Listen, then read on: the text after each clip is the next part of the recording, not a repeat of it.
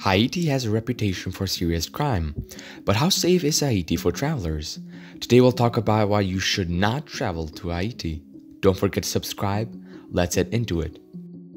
Haiti is a tropical island destination in the Caribbean. It occupies the western side of an island where it shares a border with the Dominican Republic. With beautiful beaches, mountains, impressive waterfalls, a history that includes being the first nation to throw off slavery and colonization, and a unique Caribbean culture, Haiti is an intriguing destination with a dark past. But just how safe is Haiti for travelers? Haiti's dark past. Haiti is one of the poorest nations in the Western Hemisphere and was made poorer by a massive earthquake in 2010. The nation almost collapsed under the weight of the tragedy. There was desperation everywhere. For a while, evil was unchecked. Gangs roamed the broken streets of Port-au-Prince, and the only visitors were relief workers. It's been suggested that some 10,000 aid organizations were involved in the 2010 recovery process. But instead of fixing Haiti's problems, the relief effort made matters even worse. The UN is blamed for starting a cholera outbreak.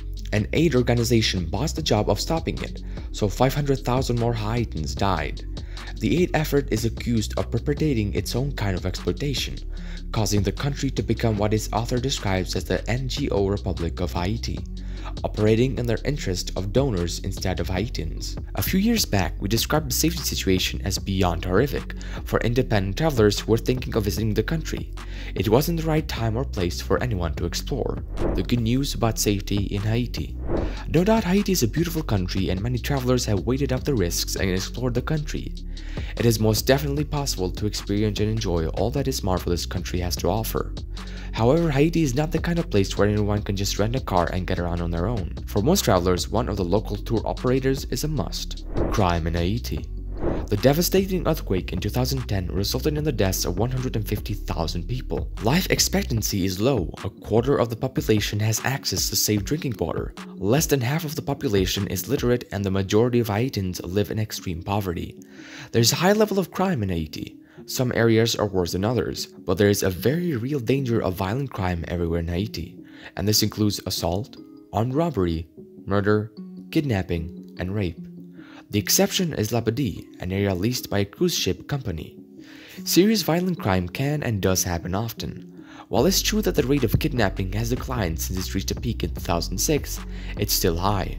A resurgence of kidnappings in Haiti has led the US government to raise its travel advisory to level 4, do not travel, in March 2020. Other violent crimes include carjacking and robberies, carried out mostly by armed criminal gangs. The motivation for kidnapping in Haiti tends to be financial, and kidnappers don't discriminate based on age, gender, or nationality, or race, and often target children. Many kidnapped victims who are returned report being beaten, tortured, and sexually abused. Kidnapping risks in Haiti are not the same as in South Africa, for example, and measures that are adequate elsewhere have been proven inadequate for Haiti. Public transport safety. Criminals have been known to watch travelers arriving at the airport, follow them and then attack, be highly vigilant when withdrawing money. Always use an ATM or bank inside the hotel. Do not use public transport including tap-taps, where violent crime often occurs. Public transport has been the location of numerous stabbings, robberies, and kidnappings. High crime areas to avoid in Haiti. There are some safe hotels and markets in Port-au-Prince and in other locations in Haiti. However, it's best not to walk around Port-au-Prince alone, especially at night.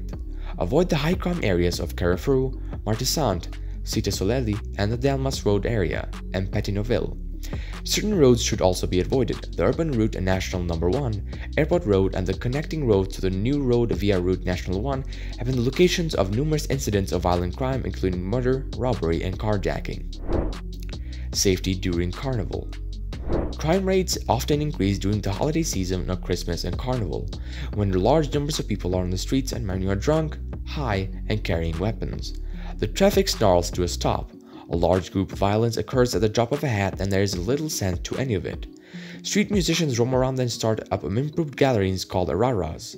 These often start up as quite a fun experience with people dancing and singing in the street, but they often escalate to violence and destruction. It is very difficult to tell as an outsider whether or not the Rara is affiliated with a political movement or a drug gang.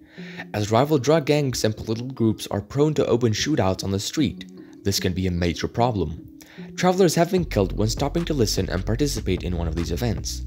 Political instability, and chaos in Haiti. The major cause of the high crime rate is political instability. On July 7, 2021, President Jovenel Moise was shot and killed in his private residence in Port-au-Prince.